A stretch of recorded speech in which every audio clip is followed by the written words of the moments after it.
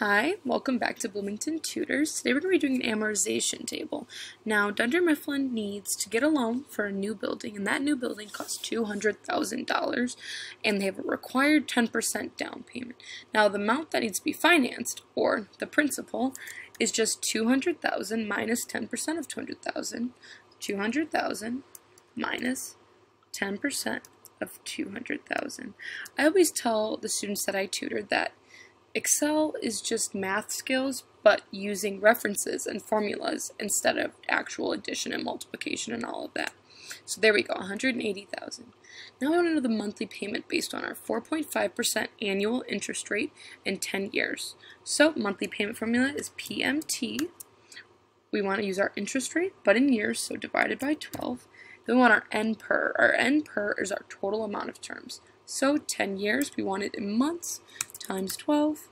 Now our PV, PV is always negative, and our PV is another word for our principal, which is 180,000. We can close that. There you go. Now, in your class, you might not be asked for the monthly payment. You might not be asked for the quarterly, semi-annual, or yearly. So we'll go ahead and do this. So it's the same formula again, whether it's quarterly, semi-annual, yearly, or monthly. It's PMT. So again, we want annual, but we want it quarterly, so divided by 4 N per is our terms times 4. PV is always negative. So if we're only paying twice a year, it's going to be PMT, our rate divided by 2, our terms times 2, and our negative PV again. You're getting the hang of it. Okay, now if it's yearly, we don't need to do any divide by 1 or anything like that, so we'll just reference. And our negative PV. There you go. Now, as you can see, our payments got bigger as they became less frequent. Now, for this amortization table, we're going to want to use our monthly, which I put here in blue for you. So the first step in doing an amortization table, I have gone ahead and highlighted everywhere you're going to enter in something in gray. All these other steps right here, all these other boxes, they're all just going to be drag downs. So our first step in doing an amortization table is our beginning balance. So our loan amount is not for 200,000, 180,000 because we already paid that $20,000 down payment. First step. Next step is the repayment of principal.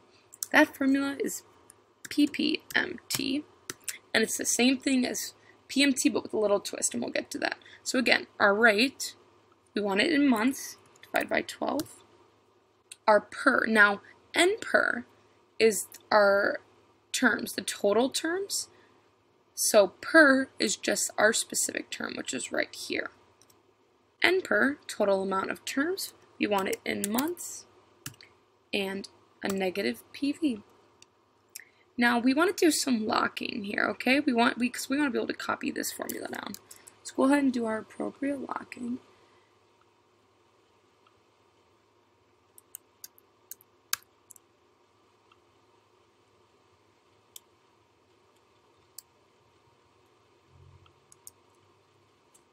Okay, we locked the B. Eight, we locked B8 because we don't want it to move. We locked the D in D6 because we want it to stay right in this D column. We locked B9 fully, we locked B7 fully. And that's how you do that. Now the interest is super simple. All you do is drag your PPMT formula over. If you got the same answer in both columns, that means your locking was done correctly. You change this first P to an I, and there you have it. There's your interest. So it's the end of the term. You started off with this much, and you paid off this much. So you end with $178,809.51. So if you end term 1 with this amount, you must begin term 1 with that amount again, so we just do a little reference there. Now that is how you do your amortization table. We'll just double click everything down. Don't worry, it'll all add up in this end. There's a few little checks we can do to make sure we did our amortization right. Number one is to make sure we got a zero right down here at the bottom. And we did, so that was done correctly. Another one is to add up your repayment and your interest.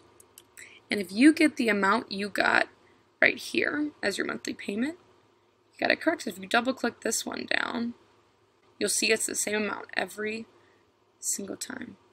Lastly, we need to know what our total interest to be paying on our loan, which is just our sum again. There you go. So that's the first amortization table. Now I added a second one. It's done the exact same way, but there's a little twist, so we'll go a little bit faster through that one. Again, we have another down payment. You might not get a down payment, or you might. It really just depends. So we want monthly again. PMT. Annual interest rate. NPER. Our NPER is already in months, so we don't have to do any type of division or anything or multiplication there. Negative PV. Perfect. Again, quarterly. And then we want our NPER. Now to go from months to quarters, you're going to divide by 3. And then PV is negative again. And there you have it, and the amount got bigger. Okay, and now we want semi-annually, so PMT. Now our rate will divide by 2. In order to show our n per twice a year, we need to divide by 6. And again, our negative PV. Okay, now if we only want it to be once a year, we're going to do the same formula. PMT, interest rate, N per, we're going to divide that 12, and then a negative PV. And there you have it. Okay, so now we'll go ahead and go through our amortization table again. We start with our principal, and we're doing monthly again here. Rate, fully lock that, divided by 12. Our per, our specific term, we want to lock just that D. And our NPER, that's already in months, so we'll just fully lock that and leave that as is. And then our negative PV again. Again, move your formula over to the side. Same amount, we did it correctly. IPMT. Ending balance equals your beginning minus your repayment. And then you end term 1 with this amount. You begin term 2 with the same amount. Click it down, down, down, and down. We got a 0 at the bottom. We could do another check again. This one is optional, but it does help if you're a little shaky on this concept. And that matches perfectly with our payment. So last thing to do is our total interest. All of our amortization tables are done the exact same. Now, if you don't feel as confident with this topic as you would like, feel free to schedule another session with your tutor and they'll be more than happy to help you. But until then, good luck on your exams.